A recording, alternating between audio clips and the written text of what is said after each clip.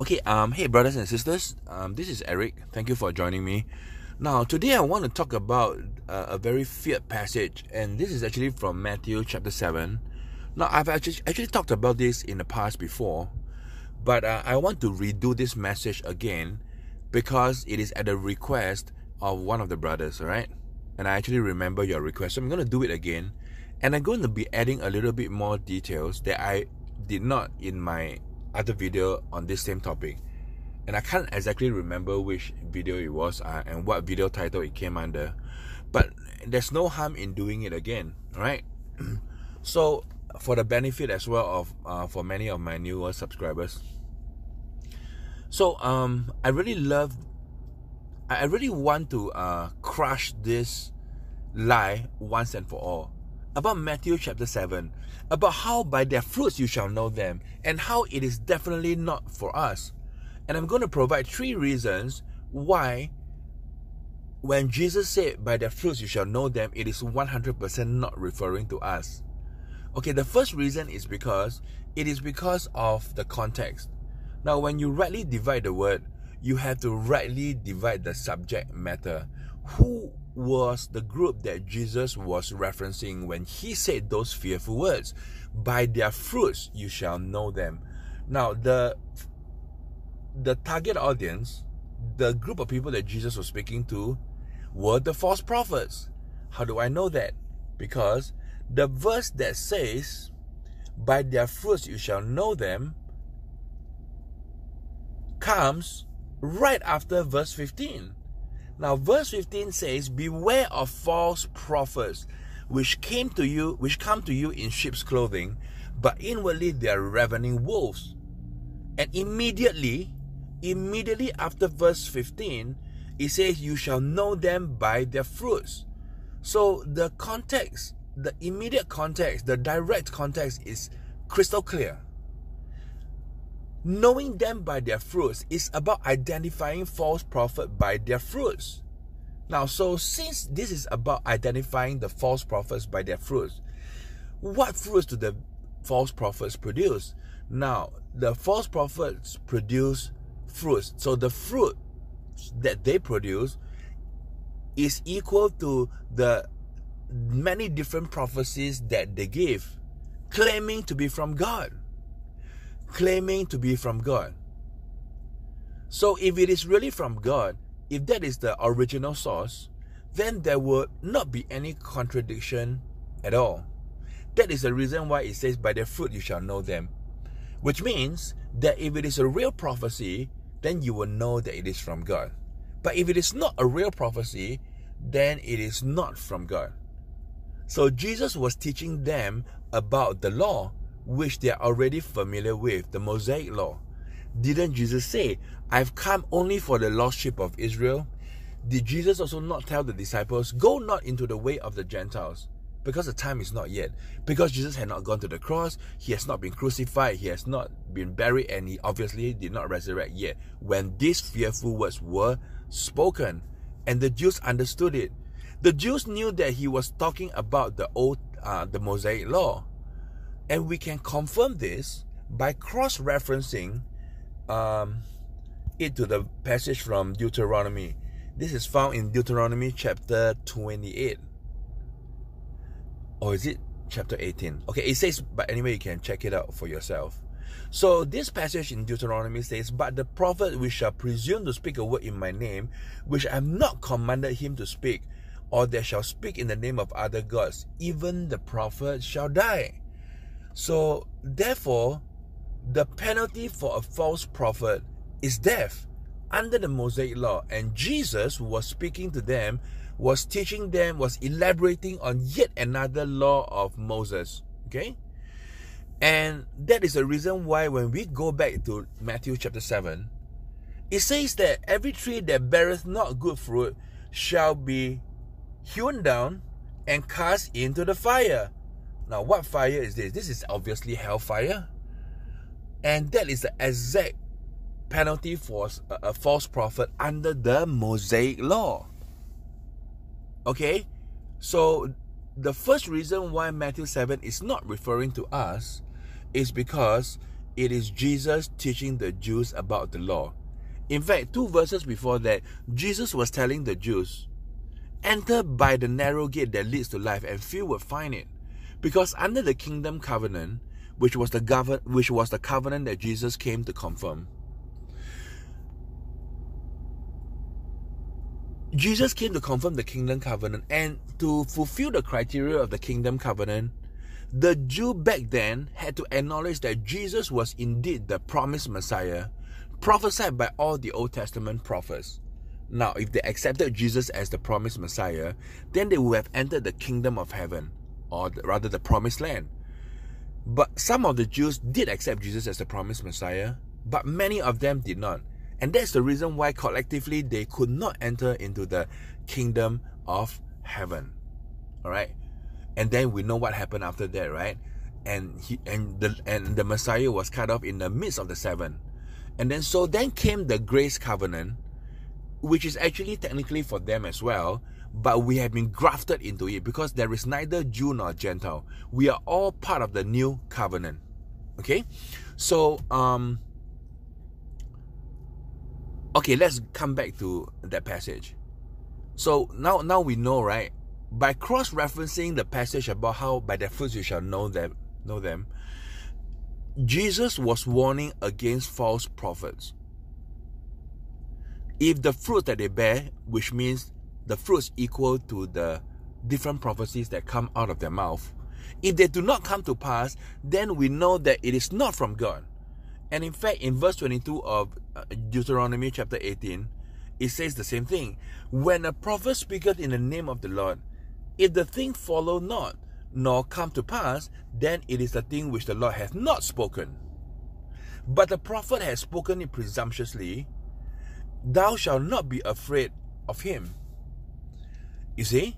So this is not about us. So that is the first reason why when Jesus said, By their fruits you shall know them, it is not referring to us, but rather Jesus was issuing a warning amongst the crowd of the Jews who were Pharisees who refused to come under the kingdom covenant, who refused to accept Jesus as the promised Messiah. The second reason is this. Now, when those words were spoken, when those fearful words were spoken, we were not under the there was no new covenant yet.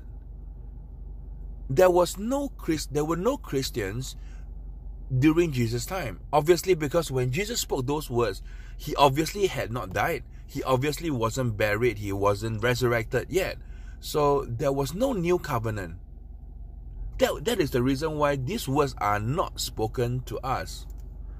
Alright, now the third reason why this is definitely not for us, okay, is because. Hold on, I lost my train of thoughts. Okay, oh yeah, because when you go to um verse hold on. When you go to verse 12, Jesus was clearly teaching them about the law. He said, Therefore, all things whatever you should that men do unto you, do you even so to them. Okay, paraphrasing it, Jesus was saying, Do unto others what others do unto you. Alright? For this is the law and the prophets. Do you, do you read that? So this is the law and the prophets. But we are not under the law, so that's my third point. Galatians 3:13 tells us that for Christ has redeemed us from the curse of the law. Christ has redeemed us from the curse of the law. So you have been redeemed. Previously you were cursed, but now you are not. Um, in Romans 10 4, you know, it says that Christ is the end of the law for righteousness to those who believe. And in yet another passage in uh, Romans 6:14, it says, "For law has no dominion over you, because you are not under the law, but you are under grace." This is the reason why our spirit can never sin, even if it wants to. Because without the law, there is no sin when we sin, it is our flesh that sins. Why? Because our flesh has not been born again. So anything that has not been born again would still be subject to the law. Now, when Jesus said, Heaven and earth shall pass away, but my words shall never pass away, it includes the law as well, right? Because the law is part of the word. Now, the law did not pass away and will not pass away until heaven and earth, heaven and earth do. It is because the law will remain to judge, to condemn those who are still under the law.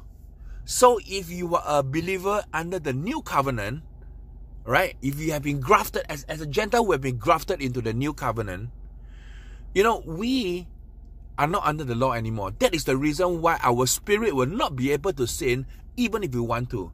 And precisely because we are not able to sin in our spirit, that is why we'll go to heaven. Because there is no sin for us to carry into heaven. We're not under the law. Right? I mean, this is something that many people do not dare to preach. But this is 100% biblical. We are not under the law. For by the deeds of the law shall no flesh be justified. And if we could fulfill the law, then Christ would have died in vain. So I'm actually taking the opportunity to talk about the law, but really the main message for today is about the false prophets and about the fruits that they bear. It is not referring to us at all. And it is crystal clear from the context, from the subject matter, and through cross referencing it to the passage from Deuteronomy, Jesus was speaking about the false prophet.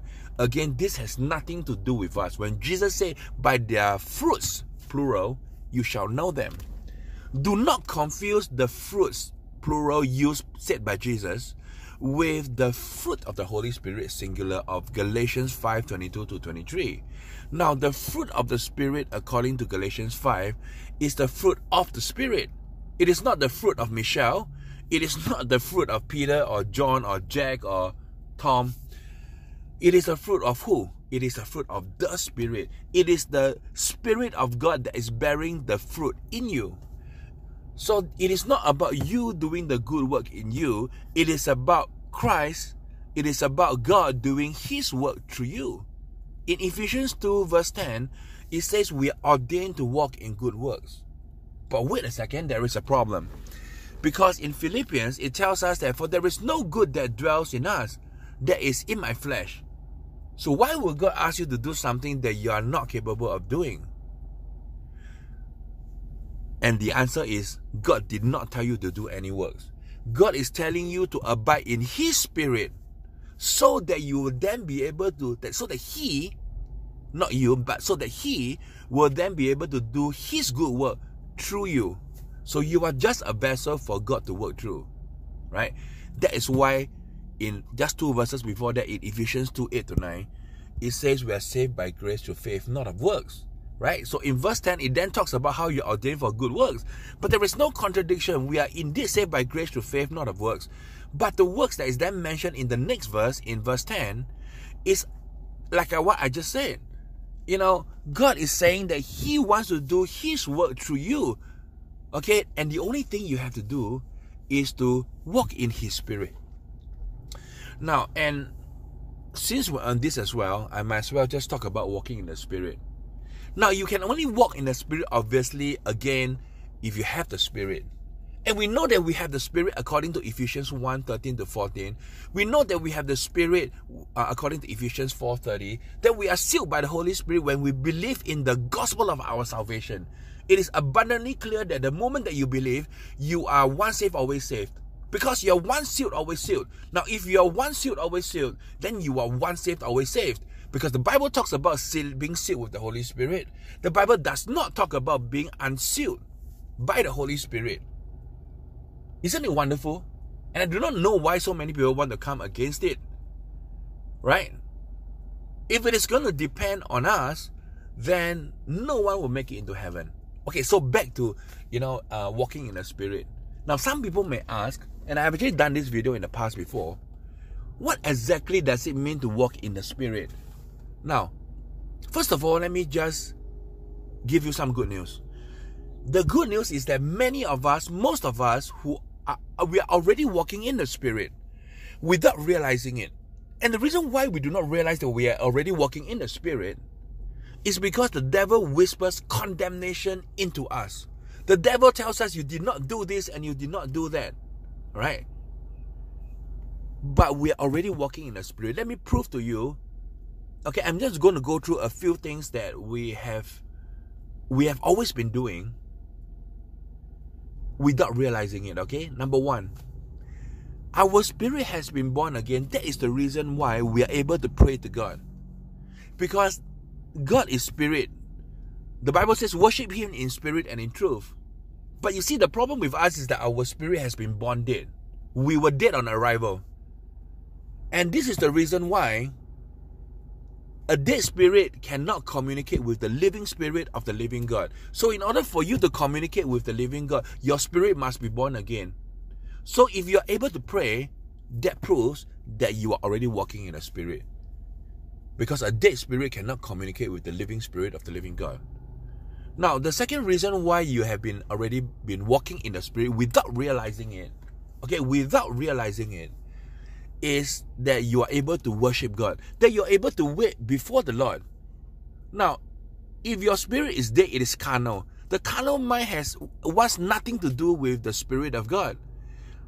But because your spirit has been born again, so by waiting upon the Lord, by worshiping the Lord, you know, the fact that your heart can be touched when you hear worship songs, that means that your spirit has been born again.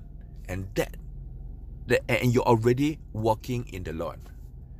Number three, you are already walking in the Spirit when you have the desire to read the Word of God. You know, there is this um, hunger for the Word of God. Now, if your spirit is dead, why would the carnal mind want to know the Word of God? They wouldn't even want to listen to the Word of God, let alone read the Word of God and find out what exactly it says. Remember when you were, before you were born again, before you accepted the finished work of Jesus on the cross, remember you had no interest to hear the word of God. You had no interest to read the word of God. So the fact that you now have the desire to read the word of God, that means that you are already walking in the spirit. Do not let the devil whispers of condemnation tell you otherwise. You are already walking in the spirit. And the reason is because you are already in the spirit your spirit has been born again. So now there is constant fellowship between you and the spirit. Okay, let me maybe let me just end with this, all right? There are many things that proves that we're already walking in the spirit, and I pointed out three or four of them. But since this, I also do not want to neglect the um the topic of the rapture as well, because that is our blessed hope. This is what we've all been waiting for.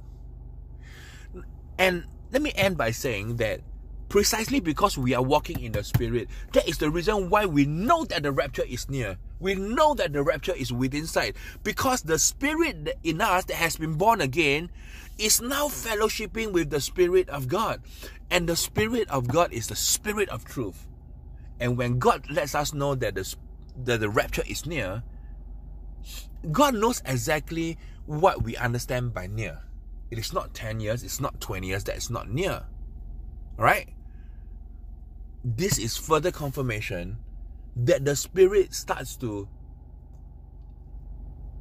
give us little clues, breadcrumbs along the way to encourage us in a way that He knows our born again spirit can understand.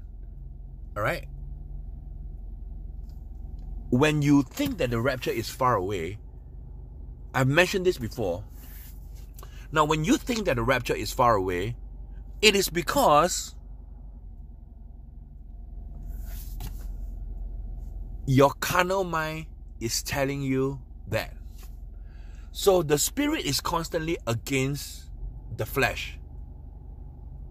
And the devil is using, he's relentlessly using your flesh against your spirit.